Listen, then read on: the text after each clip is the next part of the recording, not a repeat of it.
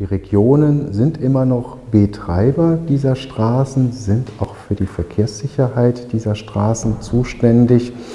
müssen auch die Konflikte managen, die die Mobilität mit den anderen Nutzungen